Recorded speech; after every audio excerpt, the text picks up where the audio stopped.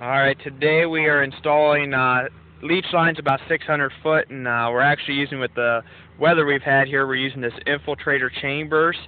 Uh, they work very good, uh, they go in really quick and they're actually really strong. Uh, we did a test with them and we uh, dug a, a ditch and put the uh, infiltrator, just one piece down in it and had it right at ground level and then we took our mini there and we drove on it uh, lengthwise to see if it would crush and it held the whole one side of the machine up so it's pretty uh, durable uh, uh, materials there. And uh, so yeah we'll show, show a quick video. Last time I put a video on the leach lines it was doing gravel with a pipe and now this time it's just the uh, infiltrator.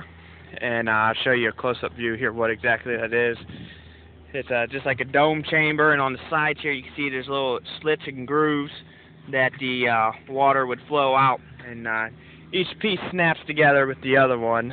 So, uh, but uh, well, there it is, infiltrator uh, chambers for leach lines.